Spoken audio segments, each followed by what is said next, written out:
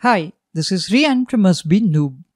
This lab guide is on how to set up self-service group management in Microsoft Entra ID with Microsoft Entra Admin Center.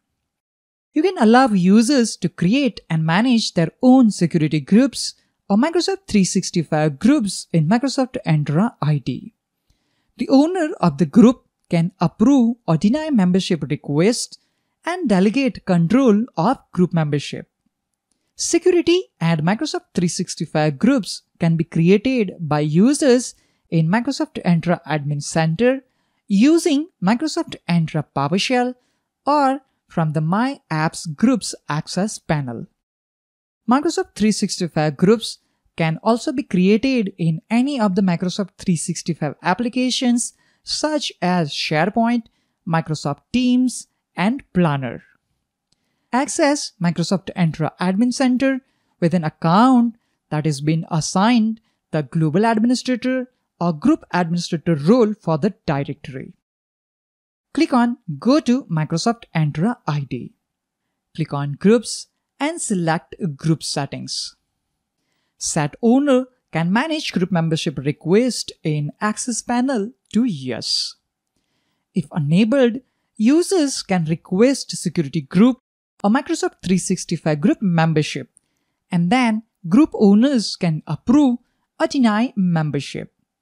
This feature requires Microsoft Entra Premium license.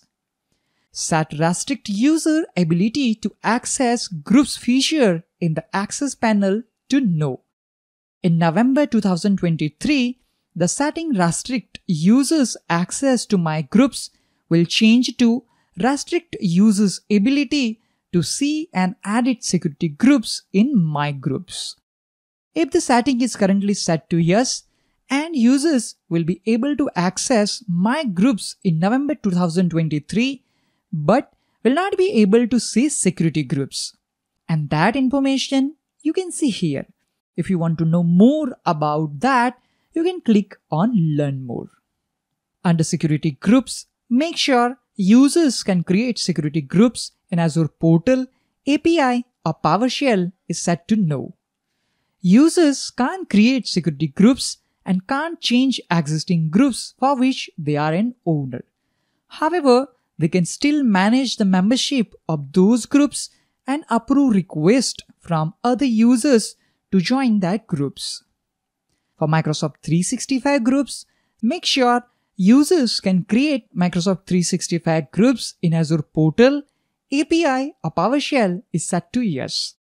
All users in your organization are allowed to create new Microsoft 365 groups and add members to these groups. Those new groups would also show up in the access panel for all other users. If the policy setting on the group allows it, other users can create requests to join those groups. Once you're done with changing general settings, select Save to save the changes. These settings can take up to 15 minutes to take effect. Microsoft Entra P1 or P2 license is required for users to request to join a security group or Microsoft 365 group and for owners to approve or deny membership request.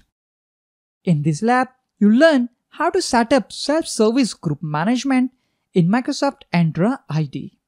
That's all for this lab guide. Stay tuned for more videos like this. See you all in the next lab guide.